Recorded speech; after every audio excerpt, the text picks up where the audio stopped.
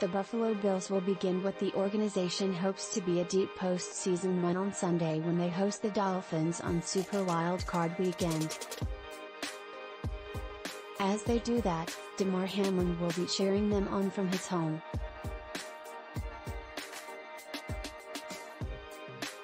The Bills' safety, who went into cardiac arrest on the field during Buffalo's Monday Night Football matchup in Cincinnati two weeks ago, took to social media on Sunday afternoon just prior to kickoff between his Bills and the Dolphins.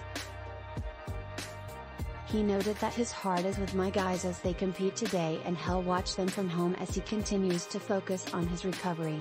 Supporting from home as I focus on my recovery. Nothing I want more than to be out there with them. Hamlin tweeted. On January 2nd, Hamlin was rushed off the field via ambulance after being down for nearly 10 minutes following a tackle of Bengals wideout Tee Higgins. The 24-year-old initially got up following the play, but then collapsed and medical personnel needed to perform CPR as he lay motionless on the turf.